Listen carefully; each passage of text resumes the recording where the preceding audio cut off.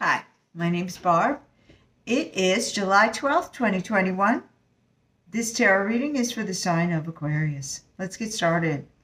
Okay, Aquarius. You have recently been um, very intuitive about things, and um, I think you know that there's somebody doing sneaky stuff around you or they had they were and and you're healing from that. Quite well it looks like.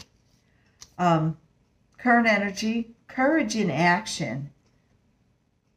And because that's how you are it's bringing about um, joy celebration and um, a partnership that's that's very solid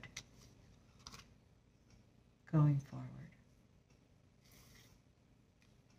boy, it's like a, a teeter totter. Good, bad, or bad, good, bad, good. Um, going forward, the Tower card is here, and I'm not sure why. And it's saying be be aware and and be on guard a little bit, and uh, and listen to your inner your inner voice. I, I don't know what this tower is about. It could be about work. You may end up juggling for a while. Hope this is helpful. If it is, please like, comment, and subscribe. We'll do it again next week. And as always, thanks for watching.